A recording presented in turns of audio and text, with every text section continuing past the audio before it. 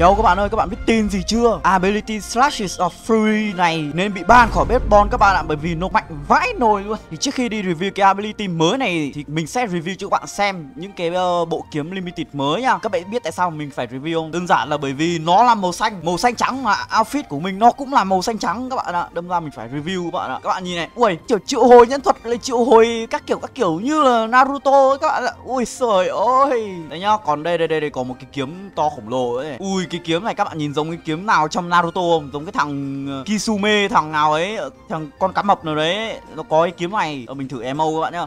Ui, what the hell? Wow! Xin xin xin xin xin các bạn ạ. Bây giờ mình thử ờ, uh, hiệu ứng chém của cái hai cây kunai này trước nha Một cái màu trắng, cái màu xanh. Ok âm thanh chém thì tạm được hiệu ứng chém thì đẹp hiệu ứng chém thì đẹp nha các bạn ơi âm thanh chém thì tạm được thôi. Và bây giờ là cái thanh kiếm to cho bá lửa này để xem thử nha các bạn ơi. Ui, ui đẹp thế nhá quá xịn sò con bò. Let's go.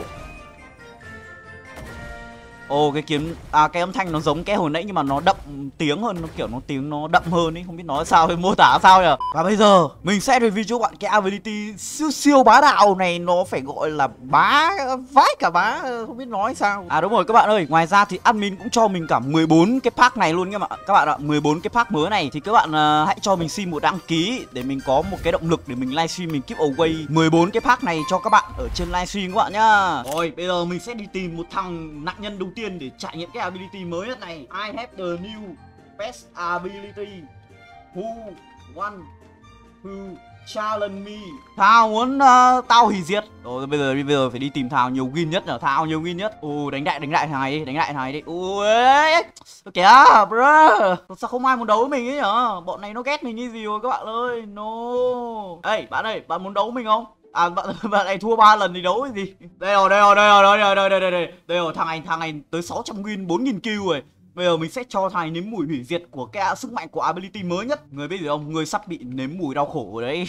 À, à, à, ôi ôi ôi ôi ôi. Rồi, rồi, rồi, rồi, rồi các bạn gì đây nhá, ability này có thể dùng được như là infinity luôn nhưng mà nó chỉ ngắn ngắn thôi. Đó, mình sâu cây một tí rồi nhưng mà chưa nha chưa nhá các bạn đợi từ từ á. Nó chưa hết đâu các bạn đợi chút. Thằng này nó nhường mình à? Ừ, thằng này nó thằng này nó nhường cái gì vậy? Ôi các bạn nhìn này. Các bạn nhìn này. Như này như này như này. Yo, các bạn thấy mạnh chưa? Yo. Thì nói chung là cách hoạt động của ability đấy là nó sẽ như là Infinity. Nhưng mà mình có thể ở đây các bạn nhìn này. Ui chết rồi. Đó, đó mình có thể vừa đi. Tức là nó có thể mang theo bóng. Nhưng mà khi mà các bạn kiểu từ từ để mình thử nhá. Các bạn chém ờ đúng rồi. Đi xa quá là nó không ấy được các bạn ạ. Ui. À raptor mạnh vậy sao? Raptor nhầm nhò gì nữa? Ui thanh niên này cũng bá đạo đấy chứ.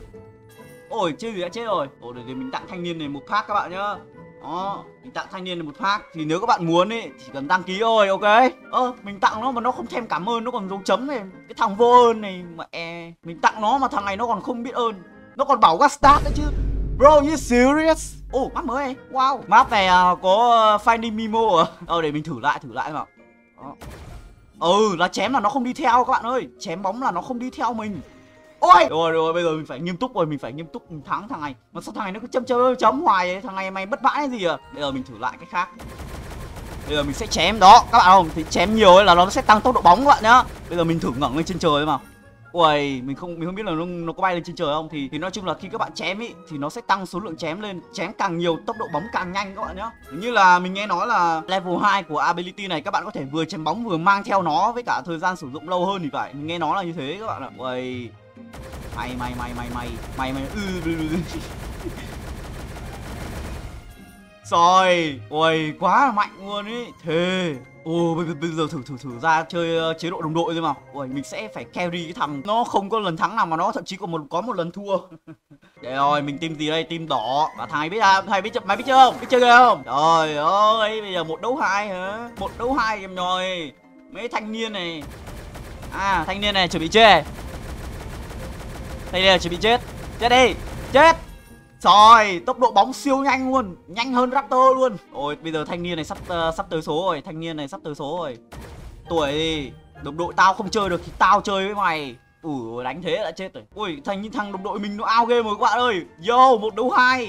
Bro Nào bro. Nhưng mà không sao. Ability sẽ giúp mình chiến thắng đó các bạn có thể click nhanh nhanh, nhanh như này. Để, để, để cho nó được nhiều lần chém. Đó rồi này dễ thắng quá nhờ các bạn à. Mà mình không biết là ability này đi đánh rank thì mình nghĩ là nó cũng không ổn đâu. Các bạn biết tại sao không? Tại vì trong rank ý là bọn nó dùng tàng hình với bọn nó dùng uh, lá chắn ý thì các bạn bật lên thì bọn nó bật dùng ability đấy thì uh, thì thành ra các bạn tự đánh của mình luôn ý. Tại vì hầu như là cả server là nếu mà các bạn lên rank tầm hơn 5000 elo là cả server chắc cũng chi 9% chia 100% là là ít nhất là phải dùng ờ, lá chắn hoặc là tàng hình rồi các bạn ạ. Xem mấy thằng này nó nói gì. Ủa nó không nói gì hết.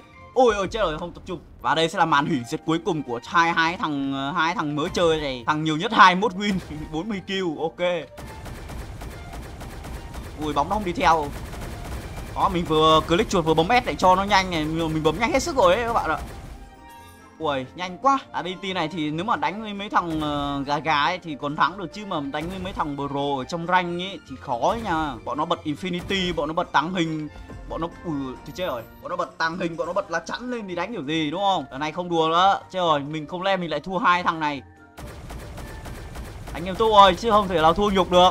Trời ơi Tôi mà thua là tôi nhục lắm á thanh niên kia không biết đang làm gì thanh niên kia kiểu đứng đứng chờ chết ấy. các bạn các bạn chưa thấy thì nhá mình chắc chắn là không thua hai người uh, hai người núp đâu nhá chắc chắn hai người đấy rất vừa rồi nhá ừ, chắc chắn là không xấu hổ đâu nha rồi ờ, thì mình đánh giá cái ability này về sức tấn công nhá. Về sức tấn công thì mình đánh giá nó là 9,5 trên 10 thậm chí là 10 trên 10 luôn. Còn về sức phòng thủ thì đương nhiên là bằng uh, gì nhỉ? Ừ sức phòng thủ thì có nha có nha các bạn ví dụ mà thằng nào nó dùng pool hoặc là thằng nào nó các bạn vẫn có thể dùng nó như là một infinity thứ hai nhưng mà nhưng mà infinity đấy thì nó các bạn chỉ dùng được tầm vài giây là nó hết rồi nha các bạn. Đó thì nói chung là sức phòng thủ mình đánh giá nó là 7 trên 10 còn sức tấn công là 10 trên 10 luôn. Ability này nói chung là dùng cũng khá là vui và khá độc lạ ha. Thì các bạn đánh giá gì về cái ability này thì hãy comment xuống phía dưới cho mình biết nhá. À, nếu các bạn thích video này thì đừng quên bỏ lại cho mình một đăng ký, một like cũng như là bấm vào cái chuông bên cạnh để không bỏ lỡ những cái video mới nhất của mình trong tương lai các bạn nhá. Bye bye.